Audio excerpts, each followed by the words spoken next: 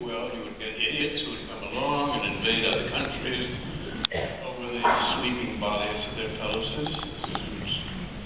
We've all lived long enough to see that happen. So that was always